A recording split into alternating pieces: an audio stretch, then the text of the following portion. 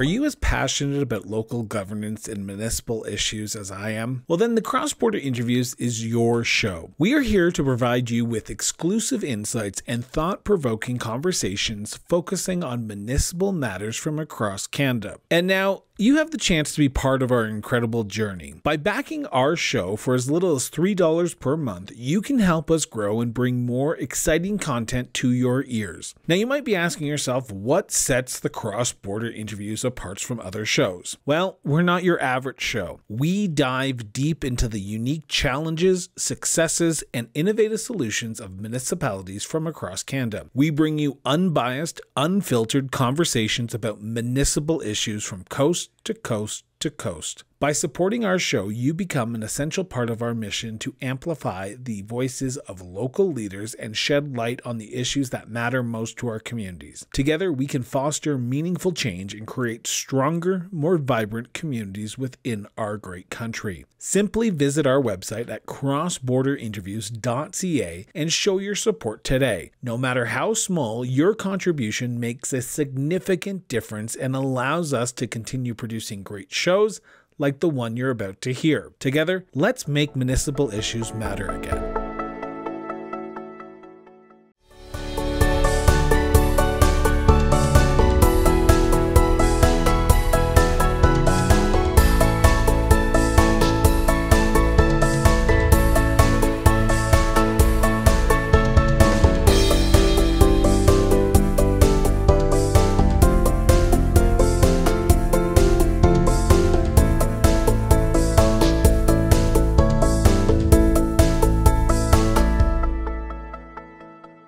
Welcome to the Cross Border Interviews, the show where we sit down with local elected leaders from all across Canada. Over the course of this episode, we'll be learning about who our guest is, what drives them, and how they are working to make their community a better place for everyone who lives there. Now, we are honored to have as our 599th guest from the city of Vancouver, British Columbia, Councillor Lisa Dominato. Hopefully, I pronounced that right. Lisa, welcome to the show. Hi, Chris. Thanks for having me on. Yes, Lisa Dominato from the city of Vancouver. Dominato. Nice to be here. well, I appreciate you taking time out of your busy schedule to do this. So I want to jump right into the uh, the questions here, and I want to start with the question I've asked every single municipal politician who has ever come on this show. So you're no exception. Where did your sense of duty to serve your community come from?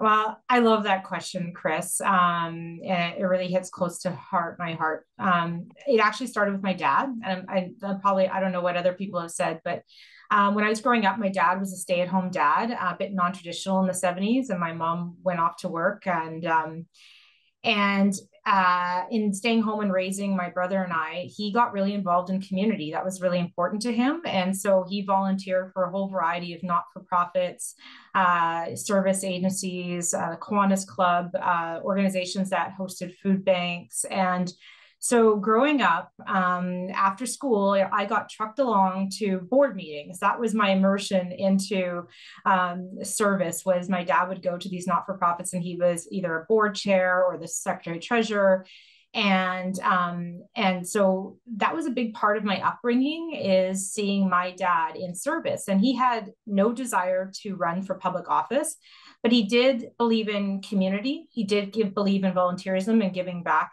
and he also believed in the democratic process. And so he volunteered on political campaigns as well at the civic, provincial, and federal levels.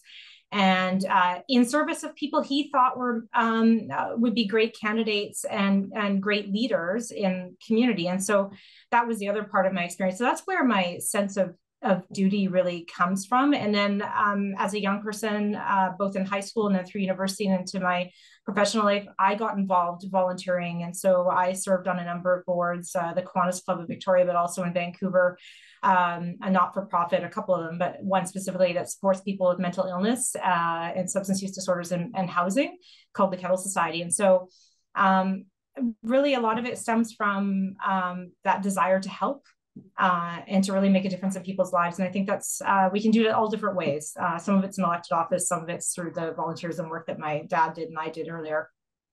So in 2017, because I, I tried to do a, as little bit of uh, research on my guest as possible, because I want my uh, my listeners and my viewers to learn about the guest from them instead of me just asking the traditional questions. But in 2017, you put your name forward for the Vancouver School Board trustee, and you get elected in 2017. And then in 2018, you make the jump into municipal city governance, which is uh, uh, the municipal election in the city of Vancouver. I want to know what was going on at that time. What made you finally say, This is the time? This is the time that Lisa's name is going to be put forward. And this is the time that I believe my voice, my passion, my understanding of what's going on in our city is going to help at the school board level, but also at the city level in 2018. Yeah, it's a great question. Um, you know, uh, prior to running, I had spent um, a decade working in the BC legislature and then another almost decade working in the public service for the provincial government. But at that time in 2017, uh, I was raising a young family. So my kids were probably maybe three and five. Um, and my, so my eldest had just started school. And in Vancouver, the con, you know, the situation at that time was the Vancouver School Board had been fired uh, by the provincial government, uh, the entire board over issues and allegations of bullying and interference by the board with staff. And and I actually still remember the moment. I'm, I'm, I'm at home with my kids. I'm doing the dishes one evening. I'm bantering with my husband about what's going on in the city. The board's just been fired. And I said, you know, after all the years of my experience of working, I worked in K 12 education in that sector, having done board governance. I was like, surely I can do this role. I could take this on and lean in and, and contribute in a positive and meaningful way to our education system. And that was the beginning of a journey of saying, you know, okay, things haven't been working. So how can I contribute and how can I make a difference and um, and put my name on a ballot? And then I really leaned into that role over the course of the next year. And what I found was increasingly my interactions with people were like, you're doing a great job. You should maybe get more involved. And hey, there's a there's a civic elections coming up in you know a few months. Have you considered running for council? And so people started asking me. I hadn't thought about it yet, but um, and uh, and I've been very passionate about issues around housing and homelessness and climate issues and civic governance. So it seemed a natural fit to dip my toe in, and so and here I find myself you talk about uh, the sort of the local aspect of the job, and, and I, I, quote Scott Pearce a lot on this show, the president of FCM, and I'm pretty sure he's going to start asking for royalties every time I use his term. But local governance is the governance of proximity. It is, and he he said it so bad. He said it best at the FCM conference in Toronto this year and you make the diff- most difference in day-to-day lives of people. The decisions you make are impacted the day after not like the provincial government where it could take a few weeks or even a month or even a year. Federal government not as much maybe t- a year 10 years. But locally you make the biggest difference. How has that responsibility been for you to weigh the the pros and cons and the decisions you make on at that council table to ensure that you're doing it right and not impacting people in a negative way when you make decisions? Mm-hmm. It's, it's a great question, and, and I, I wholeheartedly agree with Scott. I mean, the the proximity, you're you're you're closest to the issues that really make a difference in people's everyday lives. Uh, and for those of us who are on elected councils, we take that seriously. I I actually love uh, what I call the constituency work of working with residents, trying to navigate City Hall, trying to navigate government processes because um, it can be a bit overwhelming if you're a resident and you're wanting to have your voice heard, or you're simply wanting to do a basic task of what we talk a lot about in, in the city is you want to redevelop, you want to add some housing density to your lot for intergenerational homes. Um, and so I help a lot with residents trying to deal with permitting and licensing and, and small businesses. Um, but it's really rewarding um, and trying to connect people to, to make the appropriate connections.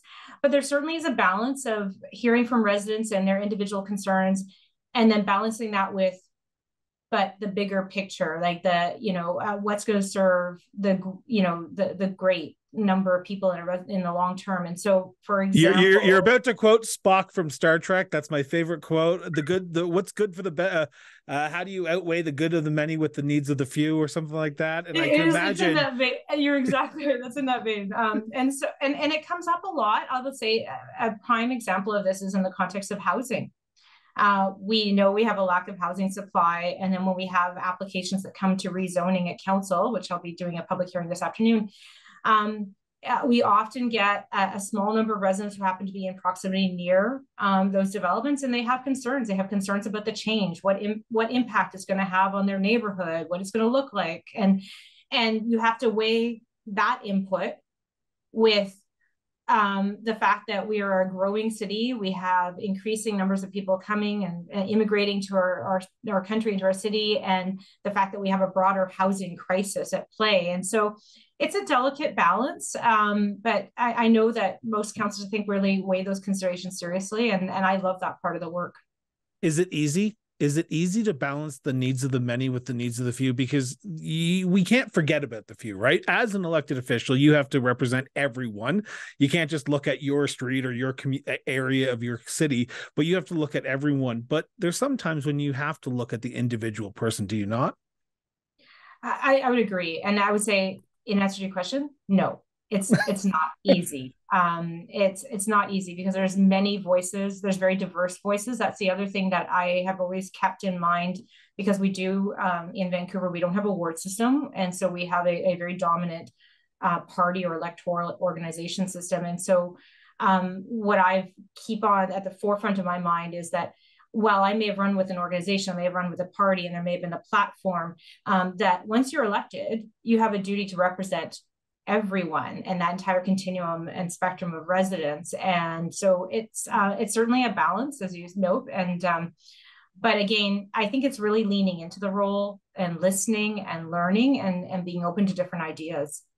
Before I turn to the city as a whole, I want to ask this question because I find it fascinating, especially at the local level your job is in your community. You don't go to Victoria to do your job. You don't go to Ottawa to do your job. You make decisions. You're out and getting groceries that night or going to a concert. Have you found the balance after five years in elected office as a city councilor for public life counselor and private life Lisa? uh, uh, my short answer is no. Um, it's people are like, how do you juggle? How do you do it? And I basically say it's just messy. I have a family. I have two daughters, and I also have a stepdaughter as well, who's an adult. And I've got uh, two cats and a dog and a household, and I have my father living with us as well. I have other, and just there's like many Canadians. I'm not unique in that, um, but it's messy. Um, and I am the kind of person who puts 110% into whatever I take on in life. And so I do that here. I try to attend as many events as possible because it's really important, particularly for the different um, uh, cultural groups and organizations within the city, for us to show up and be present and participate. Um, in, you know, for example, tomorrow I'll be attending uh, the opening of the very first National Chinese Canadian Museum in the country. And uh, my family's going away today. And I said, no, I'm staying because I want to be there for the community. And so you make choices. Um, but I would say I don't know that there's a balance. It's just messy, and I do the best I can for both the the community and for my family. Have you enjoyed it? Have you enjoyed it after five years, where you can say the, the the differences that I make at that council table, I can see the impacts in my community? Absolutely, I love it. It's um, honestly best experience ever. Uh, and uh, would you recommend what, it to people? Absolutely we actually need more people uh, uh, to step up and and and and at whatever level whether it's school board uh, council provincial federal uh, we just we need good people who want to invest the time and bring new ideas and we need the diversity and i it's just but um okay. absolutely you, have you've brought up a subject that I am very passionate about is about apathy in this country. The mm-hmm. apathetic mm-hmm. nature in this country, especially when it comes to local politics, municipal politics, school board politics, is horrendous in my opinion. This is my opinion. This is not the councilor's opinion. This is my opinion. When you talk to your residents in your city, are they addressing you with more city issues or are they talking provincial issues and federal issues? Because we're seeing a lot of downloading across this country from other levels of governments onto municipalities. So are people when they are asking you about talking to you about their issues are they talking more city issues or are they talking more provincial and federal issues? I would say generally, I'm I'm getting uh, when I speak with residents, I hear residents, it's on everything. So I get everything from I want a street improvement. I, am concerned about speeding near my block. I want to have a roundabout. I want to have, you know, speed humps. I, I want you to deal with traffic issues or a development permit for my property. To how are you going to address um, the healthcare shortage? And you know, I, I was door knocking at a woman who um, had uh, immigrated from uh, Eastern Europe and was struggling to get credentialed here to be a, a, a GP. Uh, to issues about how are you're going to address uh, housing, how are you're going to address climate change. Uh, and so I, I would say um, residents don't always distinguish between the different levels of government. They, they really want to see action. And that is the challenge because, to your point, eh, have we seen voter apathy? Absolutely. I think we have. Um, and um, in my role, what I try to do is I try to address the what are the local issues that we can take on. Um, but I also see local counselors as advocates. So while I may not be able to change health policy or climate policy that's done, you know, provincially or federally, I can certainly be a voice for those residents to those different levels. And that's why different levels of government, and that's why relationships are so important that as counselors, we're building relationships across the political spectrum, that we're meeting with our MLAs and our MPs and our ministers. And um, because we do have a responsibility to bring forward those issues, even though we may not have direct control over them in our jurisdiction. So I want to ask this question to follow up on that. And I want to preface it by saying this is a conversation between the counselor and myself. This is her opinion. This is not a motion of council. This is not a direction of council. This may not even be on council's radar right now because there's other things going on. But in your opinion, counselor, as of recording this episode, what is the biggest issue facing the city of Vancouver today? Housing. How do you address that?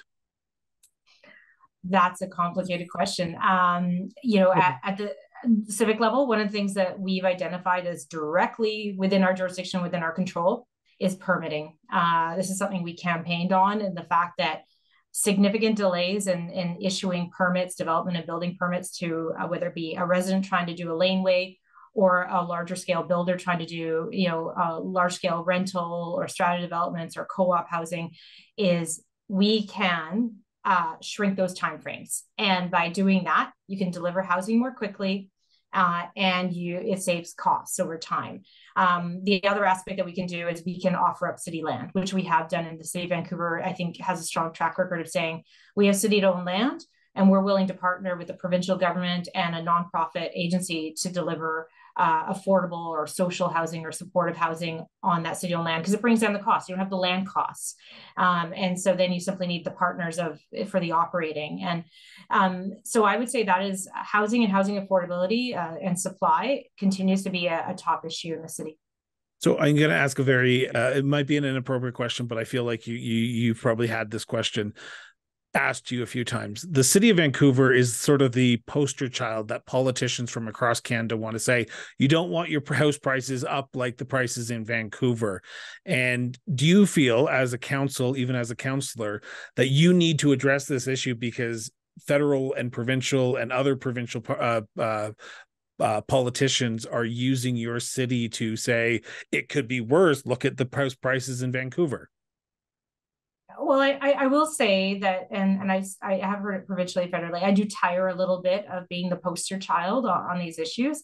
Um, but again, it reinforces for me that we have to work collaboratively across the local, provincial, and federal levels of government to address housing supply and affordability and choice. Uh, and um, the federal government's been leaning back into the housing portfolio, and I, I, think that's critical. And so has the provincial government. And, and one of the conversations that's been happening in BC um, has been um, when the how when the federal government is looking at, at housing funding and transfers to provinces, maybe they should be looking at the immigration trends and where are people going to when they're pop, they're coming to Canada they're going to Montreal, they're going to Toronto, they're going to Vancouver, they're going to Calgary. So, should housing dollars flow and follow those immigration trends? Should they follow and flow where we're seeing the highest levels of, uh, of homelessness, which is another issue that we're seeing in Vancouver and grappling with, and is along, if you look at the entire coastline of the states uh, where we've had encampments. So I think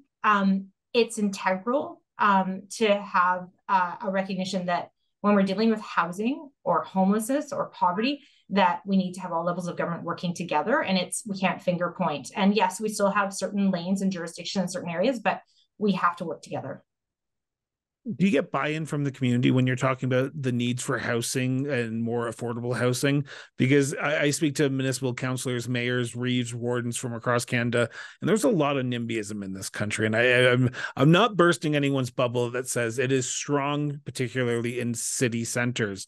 They don't want uh, affordable housing near our home. They don't want this. They don't want that is there buy-in from your community to build these affordable housing so people can access the housing market but also get into more affordable housing I think there is generally a buy-in. I think people recognize the critical importance of this because, um, you know, we're hearing that it, eh, that home ownership is increasingly out of reach for for young people. Uh, they're looking at the, the, this level of down payment that's necessary, and um, and also um, even if you're looking at homeownership, you're looking at rental. There's a lack of rental supply. There's a lack of social and supportive housing, um, and so I think there is generally a buy-in. But I do think it varies uh, from neighborhood to neighborhood. Some neighborhoods are accustomed to seeing more density, to seeing uh, more different types of housing. Uh, others have not seen as much change uh, over time.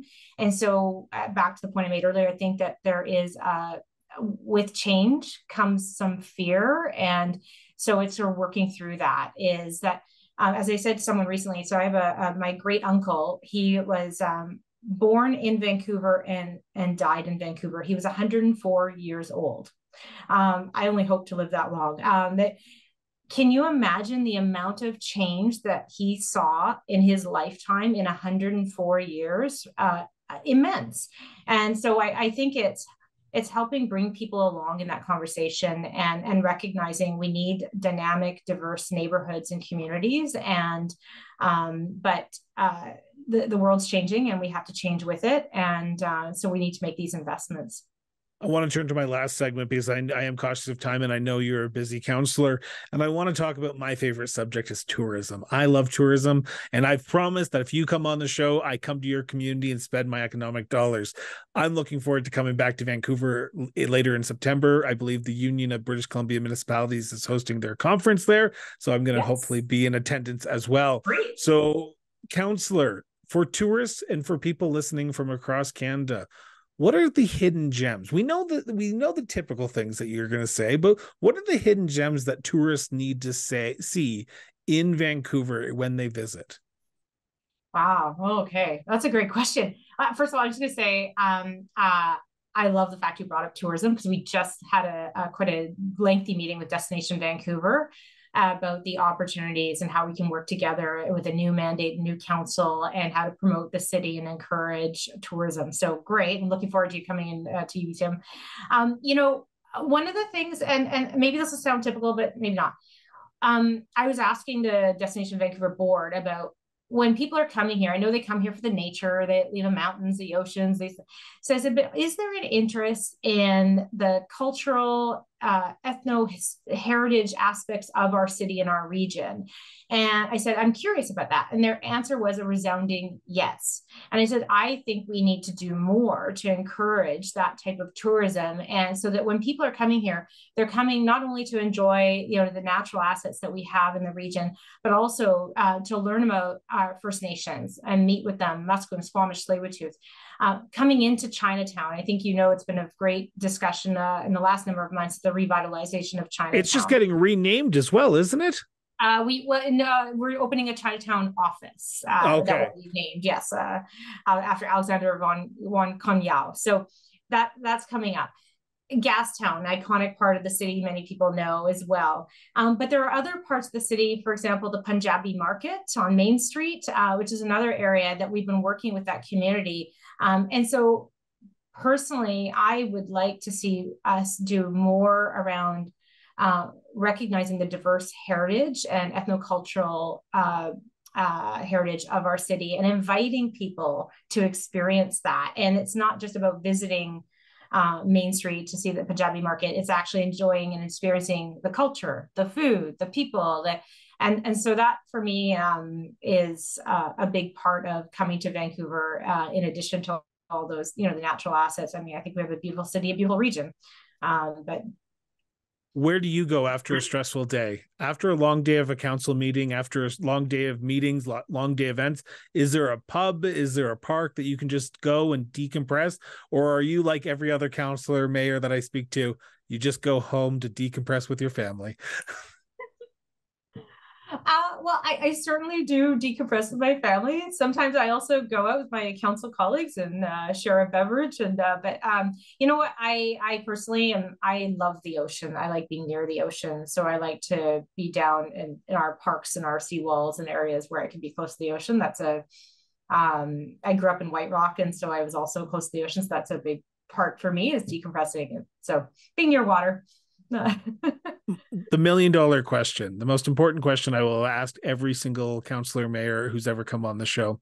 What makes your city so unique? Mm, the people. I think it's the people. It's the people that make the city. I mean, you can build buildings and parks and and um and but it's the people. It's the it's the culture. Um uh, that seems overly simplistic right now, but that's what resonates for me uh, being here because I actually didn't grow up in the city of Vancouver. I grew up in a suburb city of White Rock. And um, for me coming here, the diversity. Um, and I, so for me, it's, um, it's really about the people. That's what makes the community and um, uh, more than anything else. Lisa, I want to thank you so much from the bottom of my heart for sitting down for a half hour, taking time out of your busy schedule to do this. Um, I say this with sincerity, and I think this is not said enough to municipal councilors. Thank you for serving. Thank you for making our cities better. Thank you for taking your uh, your life and putting it into the public arena.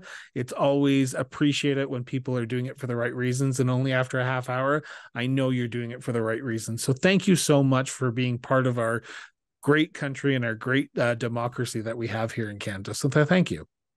Well, thanks for inviting me on. It was really fantastic. And I'm really looking forward to meeting you in person at UBCM in September.